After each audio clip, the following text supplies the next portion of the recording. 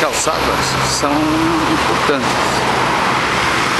Elas tanto funcionam aqui, no caso desses, como ciclovias, calçadas, e quando elas têm falhas tão grandes como essa que nós vemos ali, elas expõem o pedestre, pode até escorregar, cair e vai cair no meio da rua ali, no caso. Está na hora de um grande plano de reurbanização.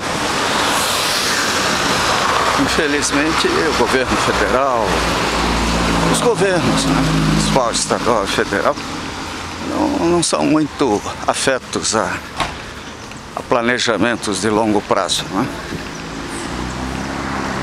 De onde vem a etapa de médio e curto prazo, assim como também a manutenção. A manutenção não, não pode faltar dinheiro. E ela é imprevisível em certos aspectos. Que aliás nos surpreende na medida provisória 579, onde de uma certa forma o governo criou uma camisa de força manutenção.